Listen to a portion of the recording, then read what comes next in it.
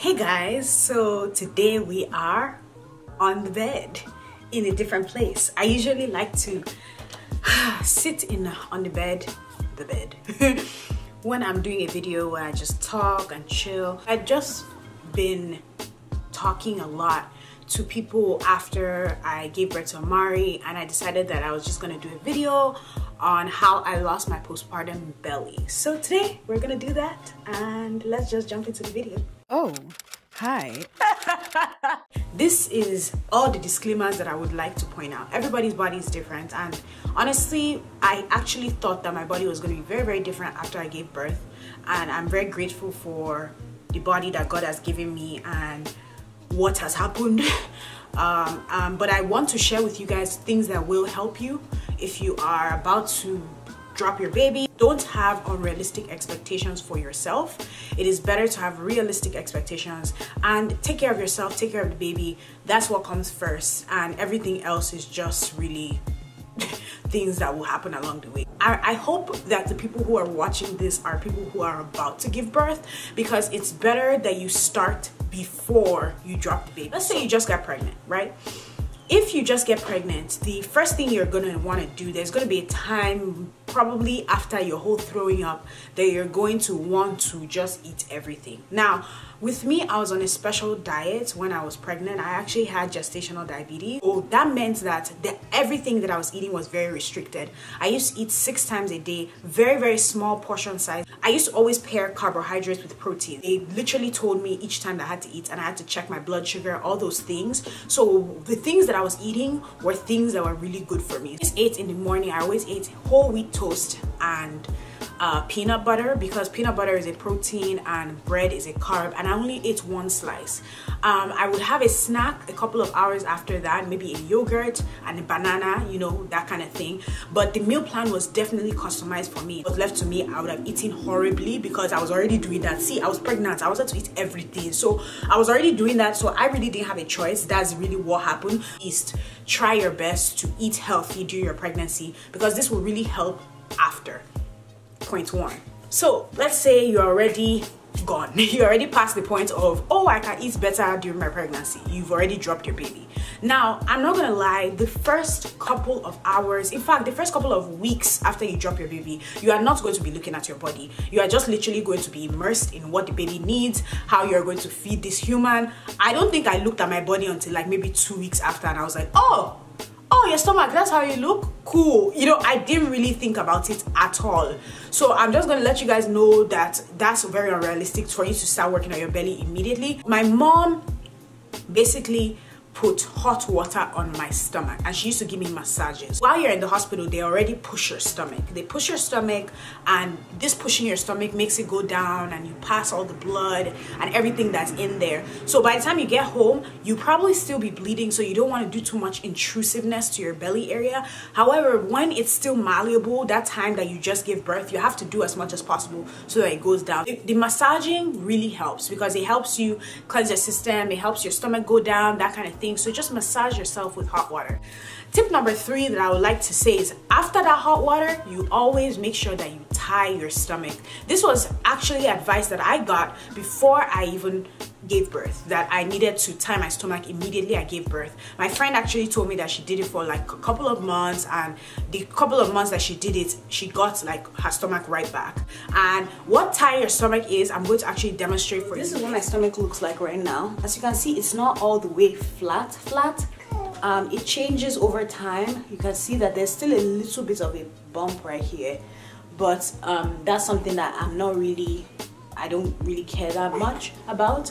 Um, but bless you, baby. How my stomach was even before I gave birth to Amari. So it has gone back. I'm not wearing anything. This is just high-rise underwear, so it's not really like I never wear shapewear or anything like that. So this is really what my stomach looks like right now. I use this Gold's Gym belt.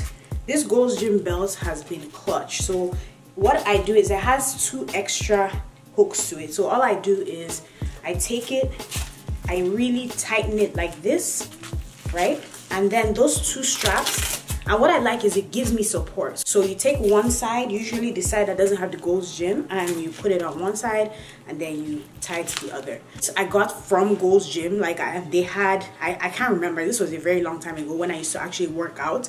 So I had this in my house and my mom was like this is going to be a good thing for you to wear. So this is what I wear and as you can see it really flattens it and I wear this for like 10 to 12 hours. Sometimes I just wear the whole day. I sleep with it. But I always make sure that I take it off because you don't want to be hurting yourself. This is actually a head wrap. Um, I got this from Atara's Avenue. So basically with this head wrap you can use anything but any type of material as long as it's strong enough. And all you need to do is wrap it around your belly and tie it in the back. As tight as you possibly can. And if you need have somebody help you with this. And tying this also is is really good for that nice support. And you tie this again for like 10 to 12 hours a day you know make sure that it's firm on the bottom especially because the bottom of your stomach is actually where your uterus is. So that's actually where there's going to be more of a pooch so when you tie you want to make sure you tie it really well and everything is sucked in. Make sure that you're wearing your belt, you're tying your stomach, you've massaged it with hot water. If you do these things, your stomach will go back to normal. One thing that I feel like really has helped with this whole process is breastfeeding breastfeeding has definitely helped me lose a lot of weight.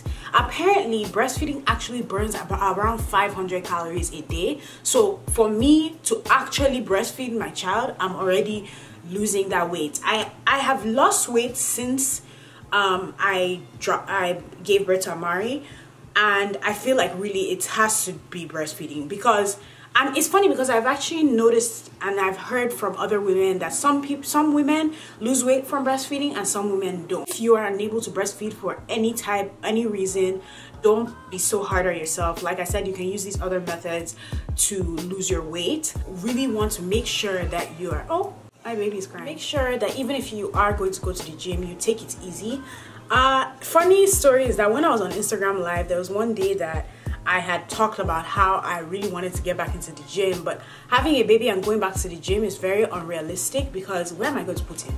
So they prescribed that I do some home workouts. So if you want to get back into the gym and you want to see how you can lose your stomach, the first thing I will tell you is don't do too many ab workouts.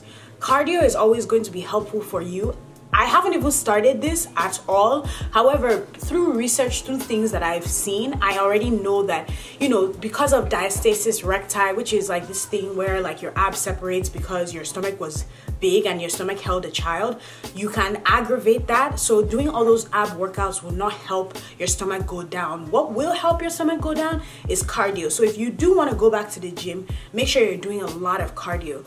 And aside from cardio, make sure that you're following a healthy diet. So those are the tips that I have for you. If you know any other tips on how you can uh, minimize or lose your postpartum belly, please let me know down below so that other people can read it and they'll be like, okay, cool, this is how, you know, I did it. So yeah, that's really it for today.